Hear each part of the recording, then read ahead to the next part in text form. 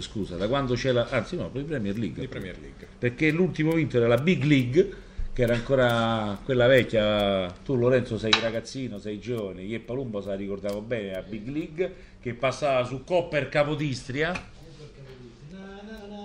Bravissimo. Con l'uomo con il flaco, bambino il flaco. Esatto. E quando vedevamo Capodistria, che tante volte sembrava il segnale della luna delle Monte Carlo, ci sembrava chissà che cosa. Esatto, esatto. Ricordo gente che girava per Capodistria. Erano altri tempi. E altri tempi e quel Liverpool insomma di John Aldrich, Peter Bursley, John Barnes, Ian Rush ritornato dalla, dalla- dall'esperienza juventina, Steve McManaman, Ronnie Whelan, Bruce Grobelar in porta, eccetera, eccetera, sono passati la bellezza, era il campionato, se non erro, 89-90.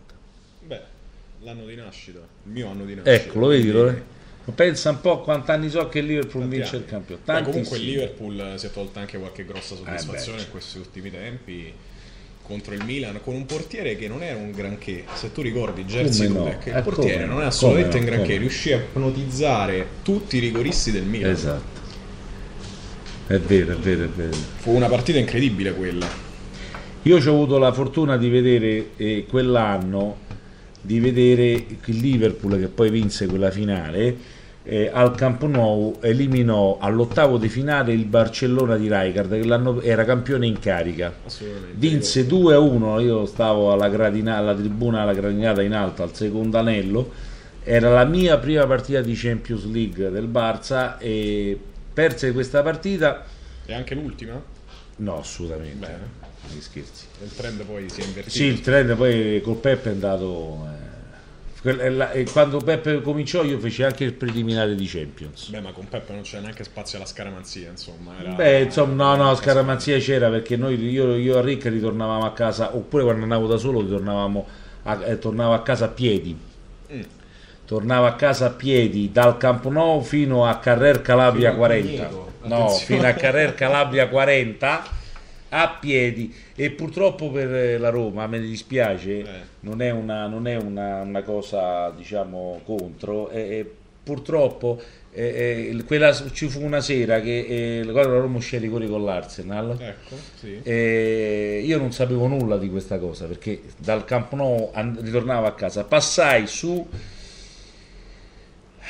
che è la strada quella io il nome non me lo ricordo, ci devo riguardare. Insomma, un, un- un ristorante andaluso che aveva il televisore, il televisore eh, praticamente fuori, nel- diciamo vicino all'entrata, e c'era la disperazione de- de- dei giocatori della Roma. Io non sapevo proprio niente, eh, perché tornando, capito? A, Certo, casa, certo, certo. a piedi. E io non ricordo co- che anno era quello lì. Beh, parliamo Non almeno del, almeno del Forse è l'anno che il 2000. Barça ha vinto la Wembley? 2000? È 11? No, no. No, no. Vediamo un po', vedi, se c'era quarto, eh, noi già avremmo avuto... Vabbè, quarto avrebbe sparato una data, poi ha detto questo non era necessariamente. Ah, ecco, ha funzio- ah, adesso ho capito, funziona, Eh, funziona funziona così così. solito. Vediamo un po', andiamo su Champions League. Salutiamo intanto quarto con Sì, sicuramente 10 ci- punti di sutura. Ci starà sentendo eh, una- un saluto affettuoso a Luca Quartus. Eh, La Champions League 2008-2009 può essere quella che si giocava a Roma poi a finale? Che ha vinto il Barça, vediamo un po' se fosse questa qua. Allora. Juventus, Inter, Italiane, Roma, Roma c'è, vediamo. Roma Fenerbace, però non mi sa che non è questa. Vediamo, vediamo. Andiamo al terzo turno, i gironi. Girone E, girone C, girone H. Ecco qui, Lio- Lione Barcellona pareggiamo 1-1 a Lione Goderri, poi questa. 5-2, non è questa? No, no, no. È come questa, no, è è questa, è questa. Allora era Barcellona-Lione 5-2. Io tornavo da, da- dal Campo Nou dopo che ci fu questa goleata del Barça di Pep e la Roma per- aveva perso 1-0 lì, ribaltò il risultato all'Olimpico e poi quella, quella sfortunata Tra l'altro sfortunata. il, il dominio completo degli inglesi della Champions League, il Barcellona, squadra catalana, Esatto, che bravo. poi... Hai detto bene il dominio, stiamo vedendo Sì, perché diciamo nei, nei quarti di finale ecco, vedo Liverpool, Chelsea, Manchester United e Arsenal. In semifinale Barcellona, Chelsea e l'altra Manchester United Arsenal. Quindi eh, tre squadre inglesi in semifinale e quella che la spunta poi in realtà in finale è la catalana, Esatto, Barcellona. esatto, esatto, esatto. Non ce n'era per nessuno, eh. No, beh, però sai, quella partita, insomma, la semifinale col Chelsea. Ma d'altronde queste sono le cose belle del calcio, perché poi le cose nascono da cose molto, molto, molto difficili, eh, da, da- da situazioni, situazioni difficilissime. Voglio dire, eh, eh, mo, eh, ti faccio una provocazione, se Nakata non fa il 2 a 2 a Torino, Eh? Era un altro campionato. era un altro campionato. eh, sì, sì, quindi sì. poi quella grande galoppata nasce proprio da, da- da- da- da episodi, insomma. Quindi, esatto. Esatto. Eh, va bene, Ah, l'ultima E che cosa. dire, eh, insomma, insomma- che dire, eh, tornando alle questioni qui di casa del domani della Serie A, Anche stasera intanto. anche stasera chiedo, c'è, eh. c'è lì, c'è il Milan contro il Chievo, ma domani, insomma, che ti senti di... che pensi, che risultati potrebbero... Eh, dunque, avvenire? se io avessi il pendolino di Maurizio Sì. Mosca, probabilmente sarei mh, a controcampo. Dato che non ce l'ho, direi. Stai qua. Sassu- e sto qua. E sono anche più contento di Molto stare. bene. Eh, Sassuolo-Roma non lo dico. Vabbè, giusto. Lazio-Parma Vince il Parma, è due eh, fisso. è due fisso. Sampdoria-Fiorentina X2.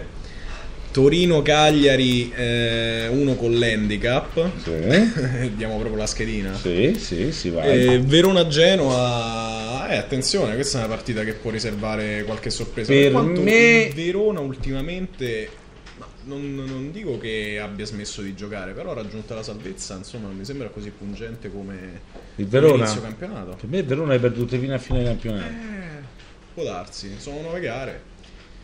E, e Napoli-Juventus eh, nel serale è sicuramente una partita da seguire. Eh, secondo me la Juventus, eh, la Juventus porterà comunque a casa il risultato. E- Pensi che il Napoli non... eh, io dunque il Napoli, ulti- il Napoli fa buone partite ultimamente con le grandi, le altre non dico che le toppi, ma. Oh, beh, diciamo sembra meno concentrato. I numeri dicono I questo numeri che dicono dici tu, eh? E meno concentrato sicuramente, per quanto l'obiettivo il Napoli ce n'ha ancora, no? che è la corsa al secondo posto. I punti in palio sono 6, la Roma ha una partita da recuperare contro il Parma, se non ricordo male, il 2 aprile, Sì, mercoledì sì, 2 aprile mercoledì. e- o meglio 80 minuti e, ancora ci sono i margini secondo me per una, per una rincorsa. Dipende dalla- dalla- dal finale di campionato della Roma e dal finale di campionato del Napoli. Sicuramente il campionato è chiuso per, per il vertice. Certo. nessuno si infilerà eh, da sotto secondo me da sotto il Napoli insomma. E nessuno considera la Juventus che ha 14 punti di vantaggio sulla, sulla seconda che è appunto la Roma. E secondo me lì il campionato è chiuso però per la Roma è importantissimo centrare la qualificazione diretta in Champions Di centrare la qualificazione diretta in Champions, e certo, anche perché certo, mh, è diciamo, fondamentale. Ci sono due motivi principali. Il primo è una preparazione, eh, diciamo, con i tempi necessari, prima per il recupero e poi per la preparazione stessa. La seconda, probabilmente, è anche un motivo di marketing, no? Nel senso che eh, la Roma ultimamente ha la buona pratica. Questo non so, eh, di, di andare un po' in giro per il mondo, in particolar modo negli Stati Uniti, a fare parte della sua preparazione. Secondo me non è un- un'idea malvagia, nel senso che per una squadra che ha eh, un'impostazione di marketing molto forte, ma sicuramente la cosa più importante è la voglia di farsi conoscere da- dai sostenitori, da, da chi segue il calcio in tutto il mondo.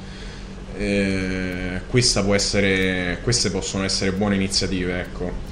Eh, al momento si è andato solamente nel, si è andato solamente negli Stati Uniti, chissà che tra qualche anno non si vada anche dall'altra parte del mondo, magari in Cina dove il calcio sicuramente è molto seguito, non è ai livelli del calcio europeo, ma Certo. eh, con un colpo di qua, un colpo di là, no? Nel senso adesso ehm, il Guangzhou di Lippi si è portato a casa Diamanti, che comunque sia è un, un prodotto calcistico nostrano. Esatto. Quindi è un calcio che ci segue, è un calcio che segue i nostri allenatori, i nostri giocatori e chissà che eh, non segua anche prima o poi eh, le nostre squadre, i nostri club.